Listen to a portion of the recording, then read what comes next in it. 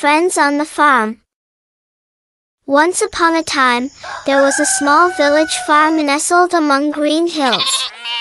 In this farm lived adorable animals, each dearly loved by the farmer, Uncle Adam, spending their days happily together. The leader of the farm, Rooster Cockadoodle-Doo, would wake up Farmer Adam every morning before the sun rose, crowing, Wake up, the sun is up.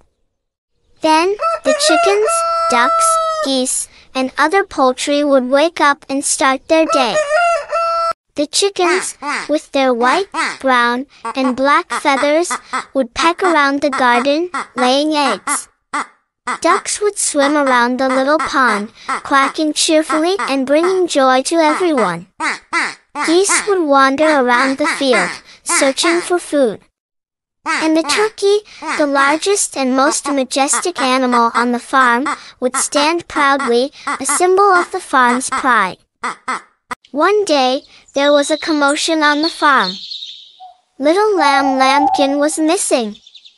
Everyone began to search for him. The chickens, ducks, geese, and even Rooster Cockadoodle-Doo ran through the fields and into the woods, searching for Lambkin. Finally, as the sun was setting, Lambkin was found tired and hungry in the forest. Farmer Adam and all the animals immediately sprang into action to help him. They brought Lambkin safely home, gave him warm milk, and prepared a cozy bed for him. Finally, as the sun was setting, Lambkin was found tired and hungry in the forest. Farmer Adam and all the animals immediately sprang into action to help him.